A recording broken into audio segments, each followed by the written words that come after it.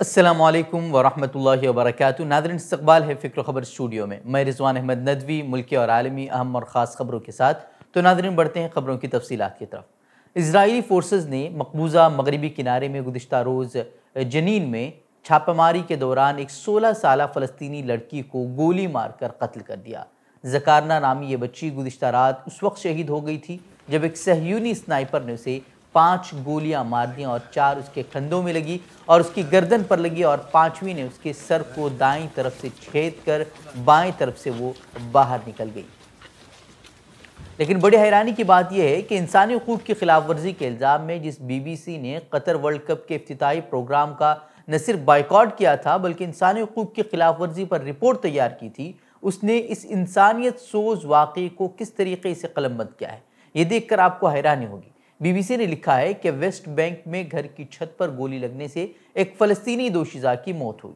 उसने ये बताना मुनासिब नहीं समझा कि उस बेरहम इसराइली स्नाइपर ने जानबूझकर गोली मारकर उसे शहीद कर दिया। और अब तक रवा बरस 220 के करीब फ़लस्तीनी इसराइली फोर्सेस की फायरिंग से जा भाग हो गए हैं, जिनमें से 50 से जायद तो मासूम बच्चे हैं। लेकिन नहीं, क्योंकि ये फ़लस्तीनी मुसलमान हैं। और शायद बीबीसी के लिए मुसलमानों का खून इंसानी हकूक़ के खिलाफ वर्जी में नहीं आता है। बता दें कि जनीन के इलाके में इसराइली फ़ौज के एहलकार फ़लस्तनी नौजवानों की गिरफ्तारी के लिए पहुँचे थे। मुहासरे के दौरान एक लड़की छत से ये पूरा मंजर देख रही थी। जारियत पसंद इसराइली फोर्सेज ने इंसानी हकूक़ की संगीन खिलाफ वर्जी करते हुए नौजवान लड़की को चले जाने के कहने के बजाय बरह रास्त सर पर गोली मारकर उसे शहीद कर दिया। वहीं फ़लस्तनी वजी ने कहा कि फ़लस्तनी लड़की का सफाक कत्ल एक इसराइली स्नाइपर के हाथों हुआ है, जिस पर इसराइल को जवाबदेह होना चाहिए। जिस काला धन को ख़त्म करने के लिए मोदी हुकूमत ने 2000 का नोट शुरू करने की बात कही थी और उसमें नैनो चिप वगैरह की बेसर पैर वाली बातें, ये तो पहले हुई थी। खैर, अब सरकार का ये कहना है कि 2000 के नोट की ज़रूरत नहीं है और 2000 के नोट का मतलब है ब्लैक मनी, यानी कि काला धन अब ये कहना है मोदी हुकूमत का और ये बात बीजेपी रहनुमा सुशील मोदी ने पार्लियामेंट में कही है। सरस्वती महोदय, जब एक हज़ार का नोट बंद हो गया तो दो हज़ार के नोट के प्रचलन का कोई औचित्य नहीं है। और अब तो सरकार डिजिटल ट्रांजैक्शन को भी बढ़ावा दे रही है। इसलिए मेरा सरकार से आग्रह है कि फ़ेज़ मैनर में 2000 के नोट को ग्रेजुअली और विड्रॉ कर लिया जाना चाहिए। जनता को मौका दिया जाना चाहिए साल दो साल का कि जिनके पास भी वैध तरीके से 2000 का नोट है, उस नोट को वो एक्सचेंज कर सकते हैं। और एक निश्चित समय सीमा के बाद जो है, उस नोट के प्रचलन की आवश्यकता नहीं पड़नी चाहिए क्योंकि 2000 का नोट यानी ब्लैक मनी 2000 का नोट मतलब होर्डिंग।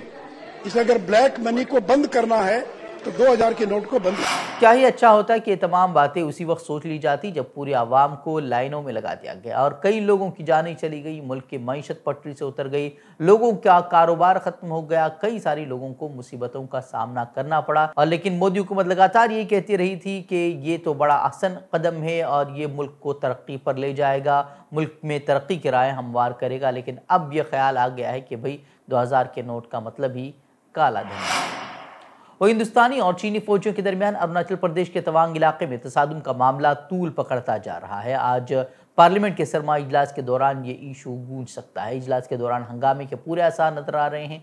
कांग्रेस ने इस तसादम मामले को संगीन मामला बताते हुए मरकजी हुकूमत को घेरा है और M I M Sarbarasuddin Owaisi ने तो नरेंद्र मोदी हुकूमत पर मुल्क को तारीकी में रखने का इल्ज़ाम किया है। असुद्दीन ओवैसी ने तवांग तसादम मामले पर तफ तबसरा किया है। उन्होंने हुकूमत को घेरते हुए कहा कि अरुणाचल प्रदेश से आ रही खबरें फिक्रंगेज हैं।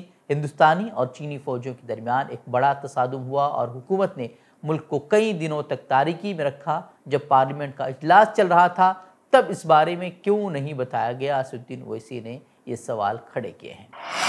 वहीं सुप्रीम कोर्ट ने पीर के रोज इन्फोर्समेंट डायरेक्टरेट यानी कि ईडी के सरबराह संजय कुमार मिश्रा को दिए गए तीसरे सर्विस एक्सटेंशन को चैलेंज पेश करने वाली एक अर्जी पर मरकजी हुकूमत को नोटिस जारी किया है। जस्टिस बी आर गोई और विक्रम नाथ ने कहा कि छह हफ़्ते में हुकूमत को उस नोटिस का जवाब दाखिल करना होगा। अदालत उस्मा ने कांग्रेस लीडर के ज़रिए दाखिल अर्जी पर मरकज, ईडी डायरेक्टर और सीवीसी कमीशन से जवाब मांगा है। वकील वरुण ठाकुर और शशांक के ज़रिए दाखिल अर्जी में कहा गया है कि मिश्रा की मुद्दतकार मतौसी मुल्क के जमहूरी अमल को तबाह कर रही है।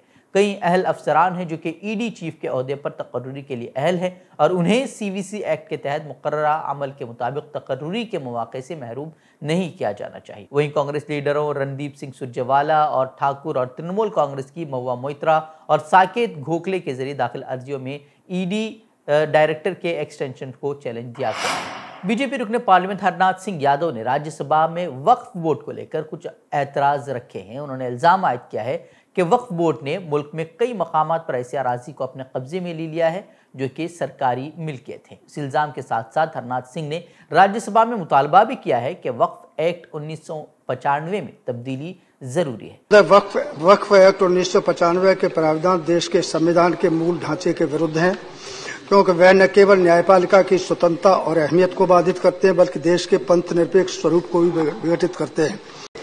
वक्फ एक्ट उन्नीस भारत में इस्लामी कर स्थापित करने का सबसे बड़ा हथियार बन गया है। काबिल ज़िक्र है कि वक्फ बोर्ड पर मिल्कियतों पर कब्जा करने का इल्ज़ाम बीजेपी हुक्मरान रियासतों में ही ज़्यादा देखने को मिल रहे हैं। वक्फ बोर्ड की मिल्कियत को लेकर तनाज़ात गुजशत कुछ माह में ज़्यादा देखने को मिले हैं। यूपी में योगी हुकूमत ने तो वक्फ बोर्ड की मिल्कियतों की जाँच कराने का भी हुक्म साबित किया है। वहीं आज सुप्रीम कोर्ट बिल्किस बानू की जानब से दायर अर्जी पर समात करेगा, जिसमें गुजरात हुकूमत से बिल्किस बानू इज्तमाही इसमत केस में ग्यारह मुजरिमों की सज़ा माफ़ करने की दरख्वास्त पर गौर करने के हुक्मनामे पर नज़रसानी की दरख्वास्त की गई है। Chief justice D Y Chandrachud और जस्टिस बी एस नरसिम्हा और जस्टिस दीपांगर दत्ता की बेंच ने एडवोकेट शोभा गुप्ता की अर्जी का नोटिस भी लिया है कि नजरसानी की दरख्वास्त अभी तक दर्ज नहीं हुई है।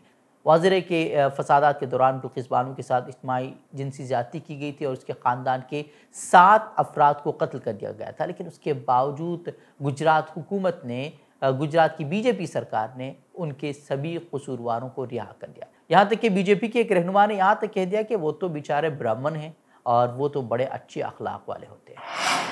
कांग्रेस रहनुमा और सबक वज़ीर राजा पत्रिया को मंगल के रोज पुना पुलिस ने उनकी रिहाइशगाह से हिरासत में लिया है। उन पर वजी अजम मोदी के खिलाफ काबिल एतराज़ तबसरा करने का इल्ज़ाम है। दरहकीकत पीर की दोपहर को कांग्रेस रहनुमा और सबक रियासती वज़ीर के खिलाफ पुणे ज़िले के पोआई पुलिस स्टेशन में वजी अजम के खिलाफ रिमार्क्स करने के इल्ज़ाम में एफ़ आई आर दर्ज की गई थी। उसी पर कार्रवाई करते हुए पुना पुलिस ने आज सुबह राजा पत्रिया को हिरासत में लिया है। उनको दमोह ज़िले के हट्टा में उनकी रिहाइश गाह से हिरासत में लिया गया है। हट्टा से एमएलए रह चुके राजा पत्रिया का कल से एक वीडियो वायरल हो रहा था जिसमें वो मोदी के कत्ल को लेकर बयान दे रहे हैं।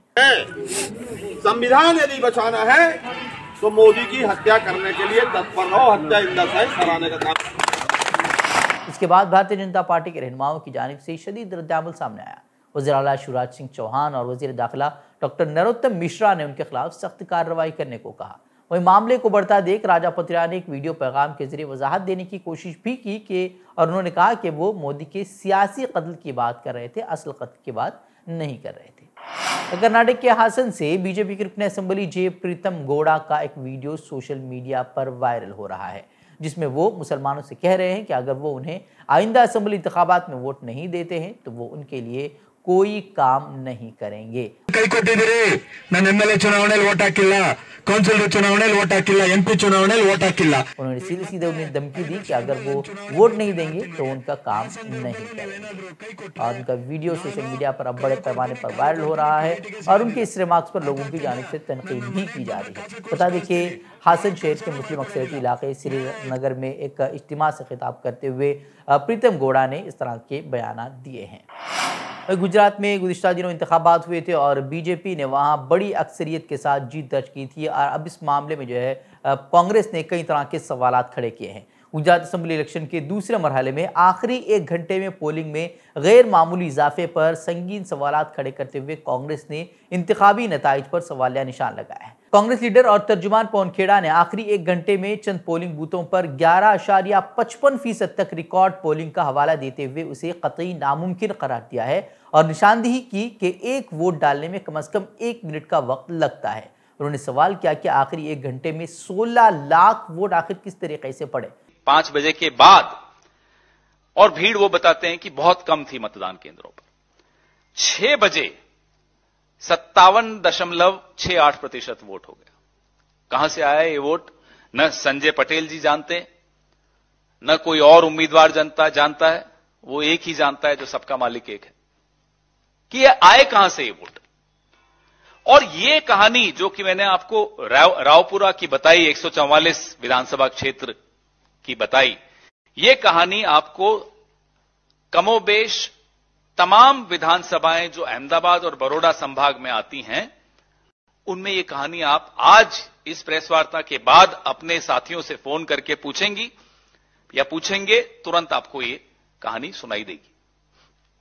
और ये हर जगह हुआ, भावनगर में हुआ बड़ोड़ा में हुआ, अहमदाबाद में हुआ, सूरत में हुआ वही कांग्रेस लीडर ने इलेक्शन कमीशन के ताल्लुक से भी मायूसी का इजहार करते हुए कहा कि हम मुख्तलिफ़ मामलों में इलेक्शन कमीशन के पास गए, मगर कभी हमें वहाँ इंसाफ नहीं मिला। उन्होंने कहा कि जमहूरियत को बचाने के लिए हम तमाम इकदाम करेंगे। वही पवन खेड़ा ने इसकी कई सारी मिसालें भी पेश की हैं। उन्होंने कहा कि कांग्रेस के उम्मीदवार संजय पटेल ने बताया कि एक सौ रावपुरा में पाँच बजे तक इक्यावन फ़ीसद पोलिंग हुई और पाँच बजे पोलिंग बूथ पर भीड़ भी बहुत कम थी, मगर छह बजे तक वोटिंग सत्तावन अशारिया अड़सठ फ़ीसद हो गई।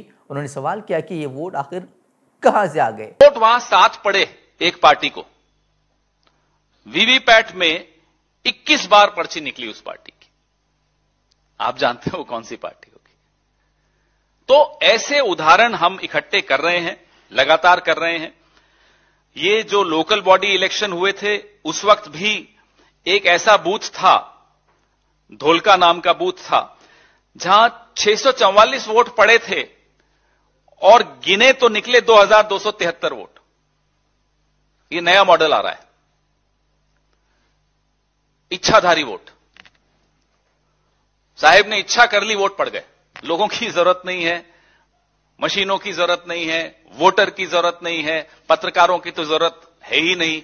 विपक्ष की ज़रूरत तो आप जानते हैं, खत्म हो ही रही है, करना ही चाह रहे हैं ये लोग, विपक्ष मुक्त भारत बना ही रहे हैं। लेकिन ये जो चुनाव मुक्त भारत हो रहा है, लोकतंत्र मुक्त भारत हो रहा है, इस विषय में हर और आपको गंभीरता से आवाज़ उठानी होगी। तो नाजनीति खबरें। मजीद खबरों के लिए आप हमारे website W W W dot Fikr dot com पर रुख कर सकते हैं। वीडियोज़ के लिए हमारे यूट्यूब चैनल को सब्सक्राइब करें। तो नाजन जाते हैं अल्लाम वरहमल वर्का